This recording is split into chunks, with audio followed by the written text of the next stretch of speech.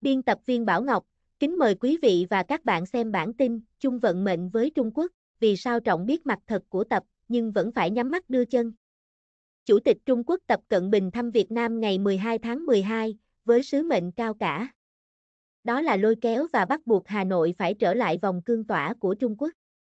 Việc lịch trình của chuyến thăm đã bị thay đi đổi lại, kèm theo hàng loạt các hoạt động ngoại giao con thoi của giới chức đối ngoại hàng đầu Trung Nam Hải, đã cho thấy điều đó, kể cả, gần đến phút chót. Đại sứ Trung Quốc tại Hà Nội, Hùng Ba, đã ngửa con bài tẩy hợp tác kết nối đường sắt giữa hai nước.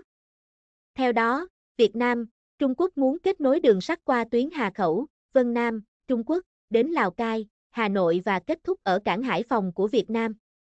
Đây là hệ thống đường sắt khổ rộng, tiêu chuẩn quốc tế 1435mm, đường ray đôi và được điện khí hóa. Dự kiến, dự án này sẽ được khởi công trước năm 2030. Ngoài ra, Đại sứ Hùng Ba còn cho biết, Bắc Kinh sẵn sàng viện trợ không hoàn lại, giúp Việt Nam nâng cấp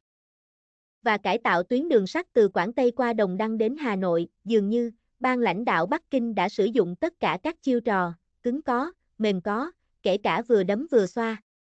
Nhưng cho đến khi Tổng bí thư Nguyễn Phú Trọng cùng Chủ tịch nước Võ Văn Thưởng, trong lễ đón chính thức Tập Cận Bình và phu nhân, thì thái độ của Tổng bí thư Trọng đã thể hiện rõ sự bằng mặt nhưng không bằng lòng. VTC News Online, do truyền thông nhà nước Việt Nam quản lý, mô tả cuộc tiếp đón của Trọng đối với Tập, cũng thấy, đây là chuyến thăm Việt Nam thứ ba của ông Tập Cận Bình. Trên cương vị Tổng bí thư, Chủ tịch nước Trung Quốc. Các chuyến thăm trước đó là vào các năm 2015, 2017. Việt Nam là quốc gia thứ hai ông Tập Cận Bình công du trong năm nay, mà không kết hợp các hoạt động đa phương, đã không có cuộc gặp ba bên, Trung Quốc, Campuchia, Việt Nam, để họ tập cao giọng dạy dỗ lãnh đạo Hà Nội như đồn đoán, theo giới chuyên gia, trong lịch sử hàng ngàn năm của Trung Quốc, không bao giờ có đồng minh, mà chỉ có thuộc quốc và các quốc gia chư hầu. Điều đó ai cũng biết. Cho nên, với chiêu bài, cộng đồng chung vận mệnh. Khi Trung Nam Hải nói rằng, sáng kiến này sẽ đem lại hòa bình, đồng thời sẽ kết nối các quốc gia, không phân biệt chế độ chính trị. Và cam kết, Trung Quốc sẽ không không can thiệp vào công việc nội bộ của các quốc gia khác. Thì thử hỏi ai còn dám tin, kể cả Tổng bí thư Đảng Cộng sản Việt Nam Nguyễn Phú Trọng, một kẻ mang danh thái thú của Trung Quốc, cho đến bây giờ cũng phải lắc đầu, đến nay, bộ mặt thật của Tập Cận Bình và ban lãnh đạo Bắc Kinh, những kẻ sói đội lốt cừu, đã từng đánh lừa cả thế giới, với những ngôn từ xảo trá đạo đức giả. Đã hiện nguyên hình, khái niệm chung một vận mệnh đối với phương Đông, như Việt Nam và Trung Quốc, có nghĩa là sống chết có nhau, có phúc cùng hưởng, có họa cùng chịu, hay một con ngựa đau cả tàu bỏ cỏ, trong khi, Trung Quốc không tham gia bất kỳ liên minh nào, không liên kết với bất cứ quốc gia nào, thì thử hỏi, họ có thật lòng với chính sách cộng đồng chung vận mệnh này hay không? Hay nó chỉ là một thứ bánh vẽ lừa đảo thế giới?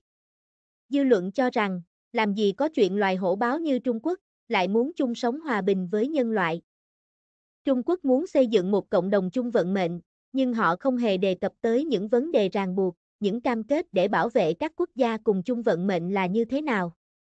Hay là, trong cộng đồng chung vận mệnh, Bắc Kinh chỉ áp đặt luật chơi của nước lớn, áp đặt các chính sách đơn phương, sẵn sàng lật lọng với các đối tác bất kỳ lúc nào, được biết, trước chuyến thăm Việt Nam, ngày 10 tháng 12, Chủ tịch Tập Cận Bình có một bài viết quan trọng trên Nhân dân Nhật Báo.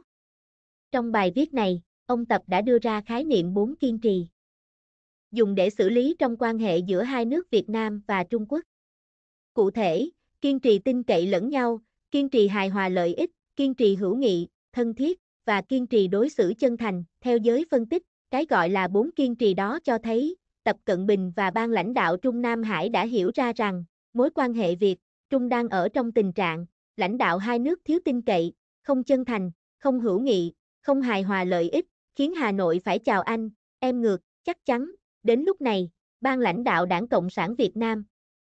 dưới sự dẫn dắt và lèo lái của Tổng bí thư Nguyễn Phú Trọng, đã thừa hiểu tim đen và bản chất của giới lãnh đạo Trung Quốc. Họ ý thức được, trước sau gì thì Bắc Kinh cũng sẽ bắt buộc những đứa con hoang đàn phải lệ thuộc, để kìm hãm sự phát triển của Việt Nam. Nhưng, theo giới thạo tin, Trung Quốc đang nắm giữ rất nhiều những bí mật động trời, có thể khiến chế độ Việt Nam lật nhào trong một nốt nhạc, nếu họ bạch hóa, vì thế, đó là lý do, dẫu biết, song ban lãnh đạo Việt Nam có lẽ vẫn phải chấp nhận cùng chung vận mệnh với Trung Quốc.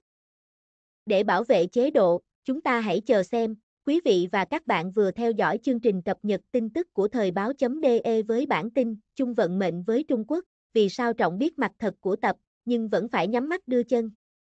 Quý vị và các bạn hãy chia sẻ video này để mọi người cùng biết, cũng như bấm nút đăng ký nhận tin trên kênh YouTube và Facebook của thời báo.de để nhận được những bản tin sớm nhất và trung thực nhất. Biên tập viên Bảo Ngọc vừa thực hiện bài bình luận với công nghệ AI.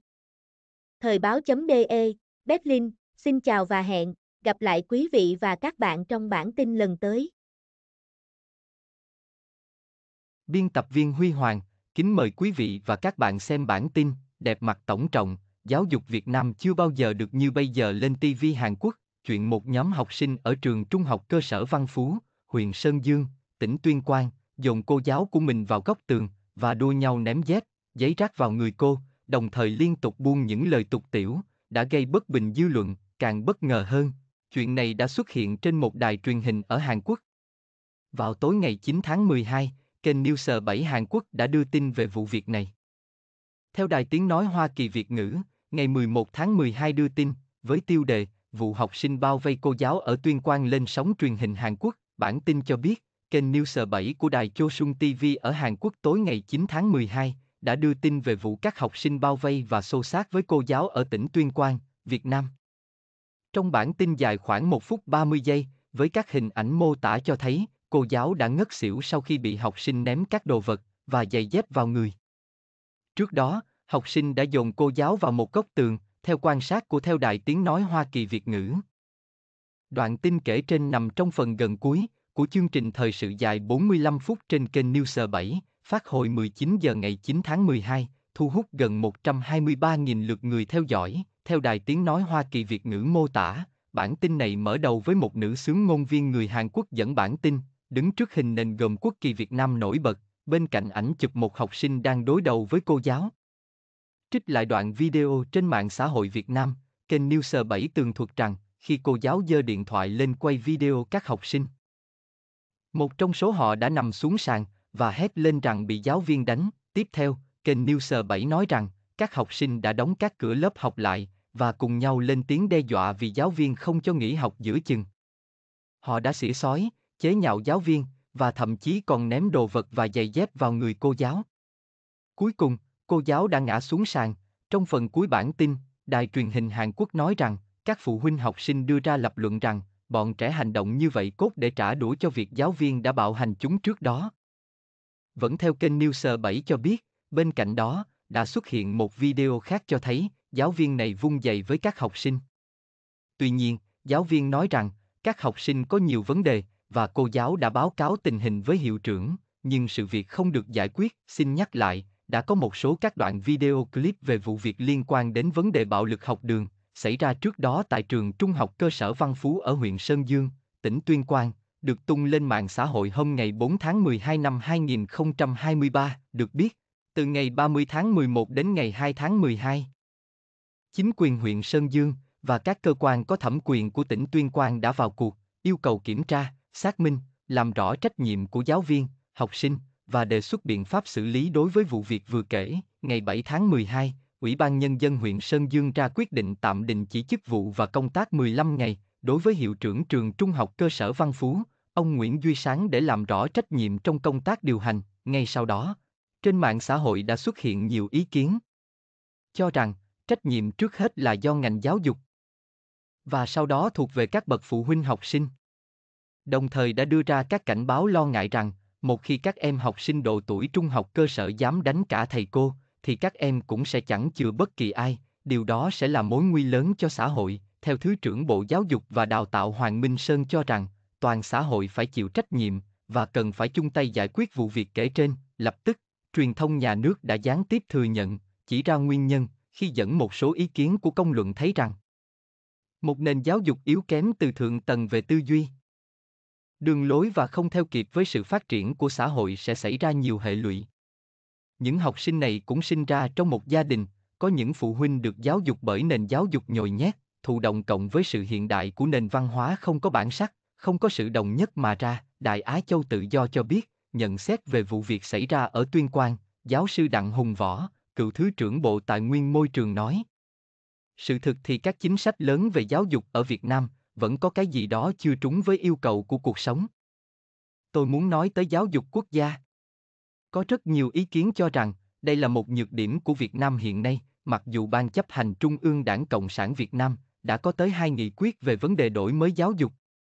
Báo Giáo dục ngày 4 tháng 11 năm 2018 cho biết, Tổng Bí thư, Chủ tịch nước Nguyễn Phú Trọng đã nhấn mạnh. Nhìn tổng thể giáo dục của chúng ta chưa bao giờ được như bây giờ. Vậy phải chăng, thế lực thù địch đã sử dụng kênh TV News 7 ở Hàn Quốc để bịa đặt và suy diễn tuyên bố của ông Trọng hay sao?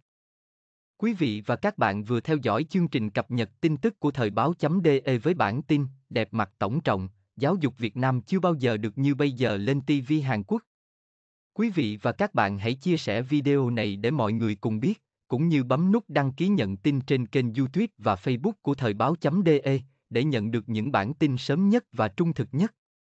Biên tập viên Huy Hoàng vừa thực hiện bài bình luận với công nghệ AI, thời báo.de, Berlin. Xin chào và hẹn gặp lại quý vị và các bạn trong bản tin lần tới.